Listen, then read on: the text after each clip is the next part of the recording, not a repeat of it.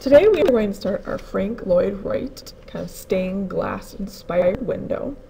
You are going to be, your final work will be using a transparency with black masking tape and colored Sharpies. But to begin today, you are going to start planning and sketching for this final artwork. So you will need a 9 by 12 piece of paper. I'm going to put it the landscape way, and I'm just going to divide it in half. This is just a sketch, so it does not have to be perfect, and we will not be using a ruler for these sketches. As you can see, I have divided it in half, and I have a few different kinds of ideas.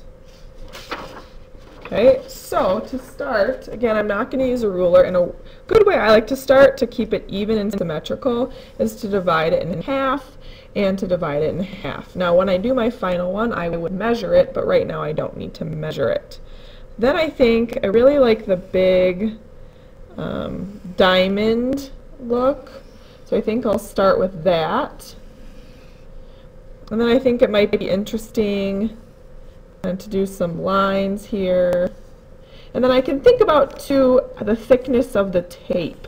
So I think then if I went in I could add maybe another detail here with tape.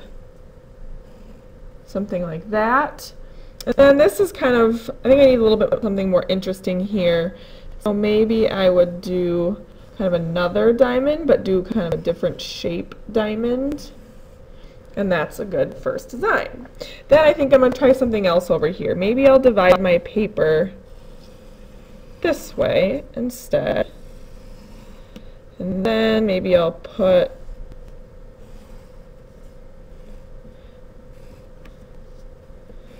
I'm doing just different designs.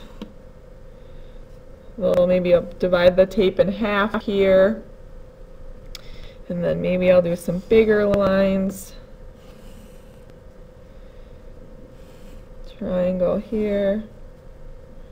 Again, I don't think, it doesn't, they don't all have to be symmetrical. If I fold it this way, it does not have to be the same, so I think I'll keep it that way.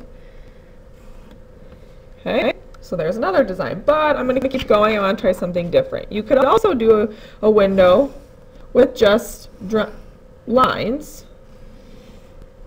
Okay, random lines don't necessarily have to um, make specific shapes.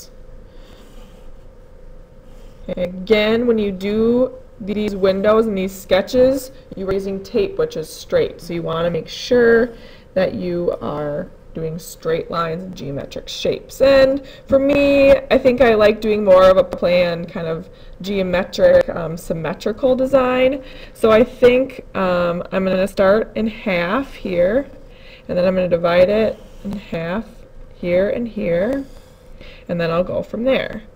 So maybe I'll do a big triangle.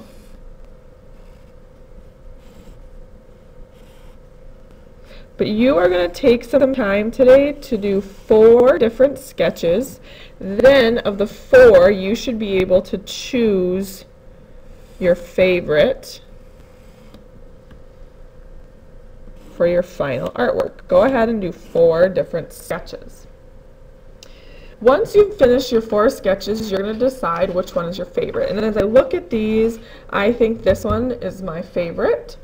So I'm going to transfer that to my final artwork. You are going to get a transparency, and on the transparency is a white sheet of paper. You're going to do your final sketch on your white piece of paper. You're going to notice it's being held together by a thin yellow kind of piece of glue.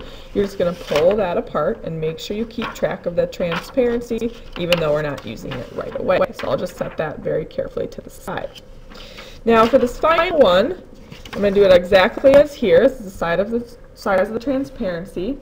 I need a ruler and my sketch. And I want to draw really lightly so that you can erase, as this is your only sheet of paper you'll get today. You can use the back if you make a mistake, but we're trying to just do it one time. So it looks to me like this is kind of a good place to start, and most of you may be starting that way depending on your um, design.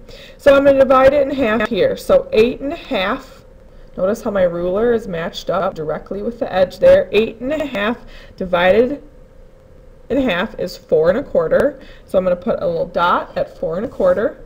I'm going to do the same thing at the top as I do want it to be straight. So I have a line four and a quarter, four and a quarter, and then I am going to connect the two. So I have a nice straight line. That's a good way to start.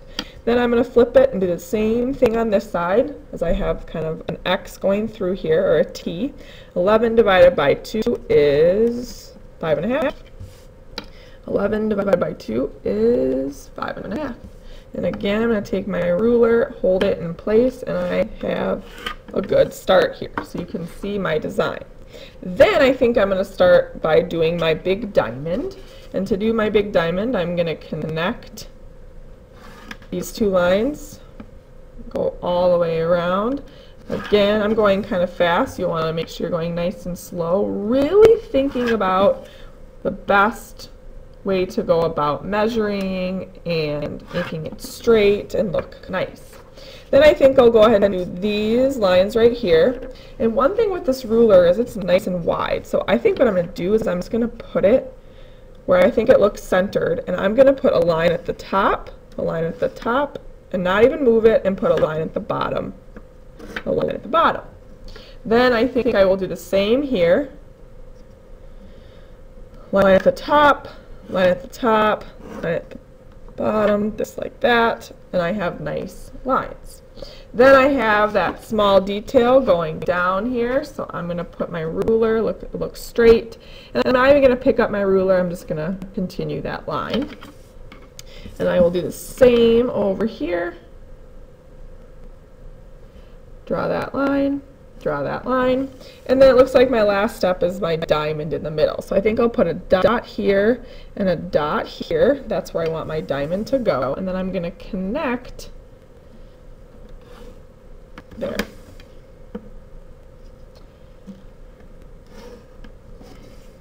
So make sure again you are using your ruler. If you need help with measuring, remember it is Eight and a half divided by two is four and a quarter. And 11 divided by two is five and a half. Go ahead and start planning your final design. Once you have your final design, you are going to want to take your transparency and set on top. Okay, we're going to be using that as a guideline. You are also going to be using black masking tape today. And before you begin, what we're going to do is we're all going to do a border.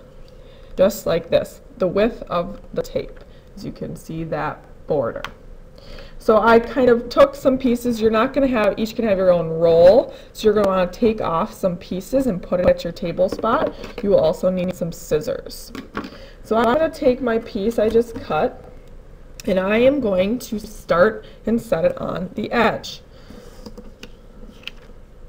So I am going to carefully, I apologize if my head is in the way here.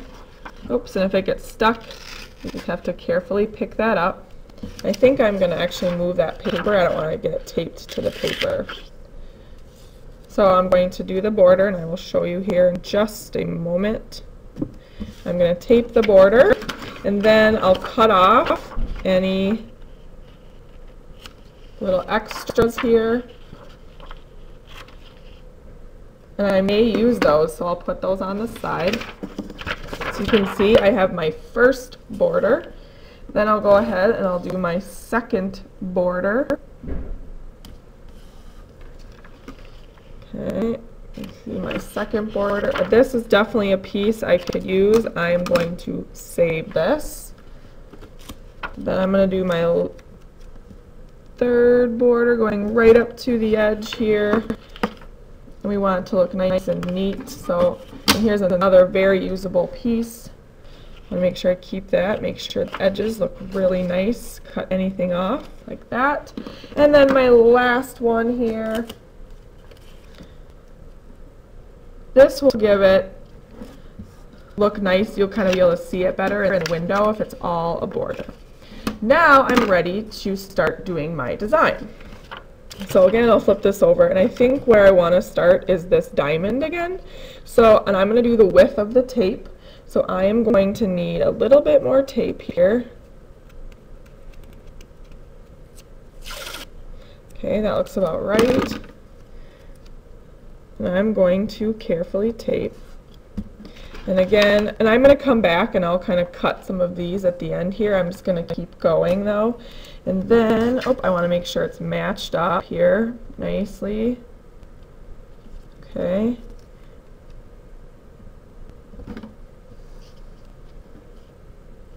Like so.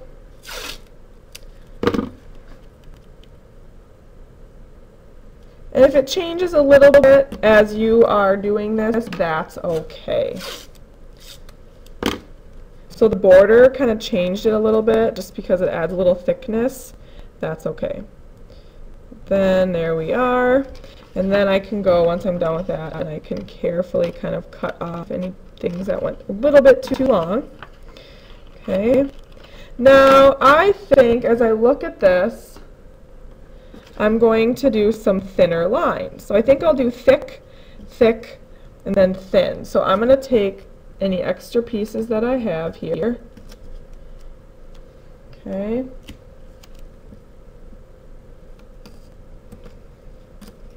Just like that. Do another one and another one. And then what I'm going to do for this line is I'm going to cut my tape in half. So I'm going to take a little piece of tape here and again, you're sharing with the people at your table. And I'm going to cut it in half. You could also cut it in thirds if you want, but half is usually pretty, pretty good.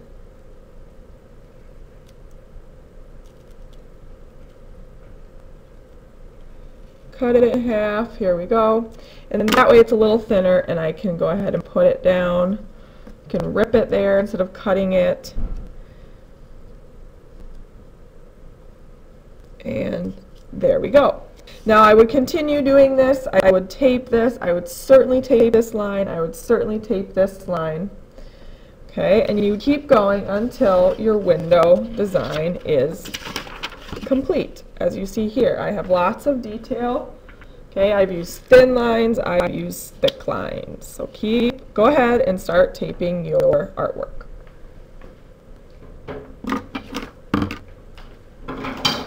Once you have finished and you have taped your artwork, we are going to add color.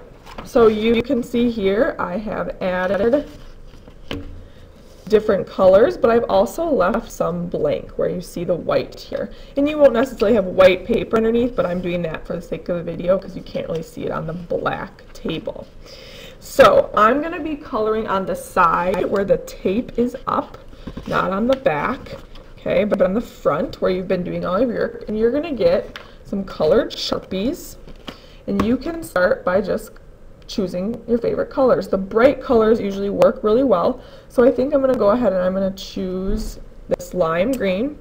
And I'm going to think about, I think I want these diamonds to be lime green, but I'm going to leave these little sections blank. And when you're coloring with Sharpie, okay, these are nice new Sharpies. Just have to make sure you're doing nice craftsmanship, coloring everything, taking your time, going nice and slow. I like to start by outlining. And it's really nice with this tape, you kind of already have that automatic outline that'll kind of guide you as you're coloring. And then I think I will do the same color down here.